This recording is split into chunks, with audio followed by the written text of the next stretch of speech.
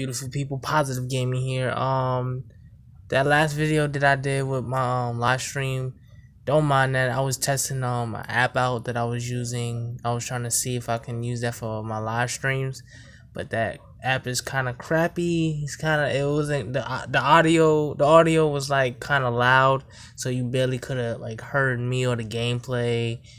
And like it wasn't really fitting you know? So i won't be using it. I just wanted to test it out. So if anyone like was watching it don't like don't i didn't want to like confuse you. I was just testing out to see how it was you know? But i will be live streaming soon. I just need to buy a camera because trying to doing it try try live streaming on the phone is not like it doesn't really work out. Like you could do it on the phone yeah but at the same time it's like it's better to have like a um like a camera and a computer you know? So yeah i just wanted to let you know that. But there will be more gameplay and more videos tomorrow. But until then have a positive day and peace